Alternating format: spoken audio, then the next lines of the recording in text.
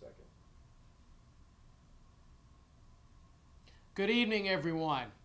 I regret that I'm unable to be with you tonight as I am here in Chicago, Illinois, planning for the 2015 season.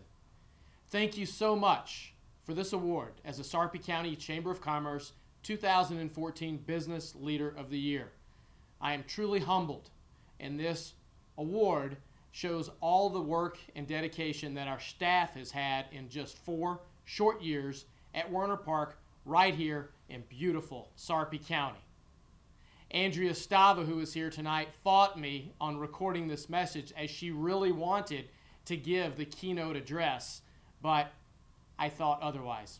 Again, thank you so much. Congratulations to all the other nominees in this crowded field. I, I just, uh, when I got the call last week from Karen, I was just truly elated and um, um, speechless, which doesn't happen to me very often.